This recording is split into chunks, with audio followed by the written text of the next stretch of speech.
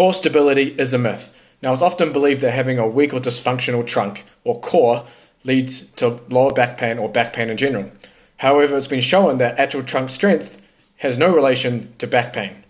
Further, the ability for the trunk to stabilize the spine only takes around 2% of maximum voluntary contraction when walking or standing, meaning it takes 2% of the maximum force it can generate to stabilize the spine. Now, you simply add a 32 kilo weight to the torso and it only bumps it up to 3%. So it begs the question why are we isolating the core and loading it with such heavy loads when it's not really needed?